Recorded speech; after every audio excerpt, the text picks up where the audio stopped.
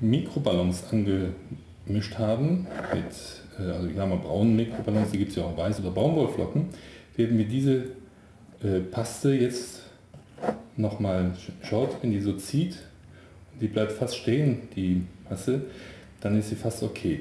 Jetzt müssen wir noch mit dem Messer ein paar Glasfaserfasern hier noch hineinschnibbeln. Nehmen wir das von einer dicken Matte, da sind die Fasern ein bisschen dicker. Und wenn wir das schön hier reingemacht haben, dann haben wir das richtige Material bei der Verarbeitungszeit von 30 Minuten, um es schön dort einzubringen und den Spand satt, auch da wo die Fehlstellen sind, zu unterfüttern, hinterlegen und dann ist der Spand fest. So, jetzt haben wir hier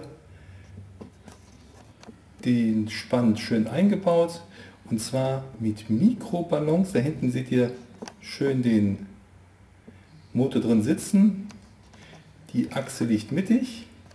Wir haben den Abstand oben eingehalten mit dem Spand durch das Voreinkleben mit 5 Minuten Epoxy ausgerichtet. Und jetzt wurde das mit Mikroballons, also mit braunen Mikroballons und Glasfaser, weil Mikroballons alleine sehr brüchig dann, ähm, weil keine Baumwollflocken da waren, habe ich das mit Glasfaser nochmal verstärkt, eingebaut.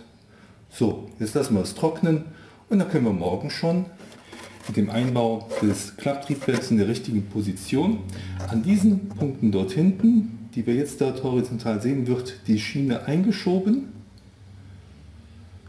Und dann wird hier oben die Höhe fixiert und in die, an die Spanten, die hier montiert sind und hier oben angeklebt sind, werden wir dann ähm, die richtige Höhe ermitteln, die Löcher reinschrauben und dann ist die Maschine schon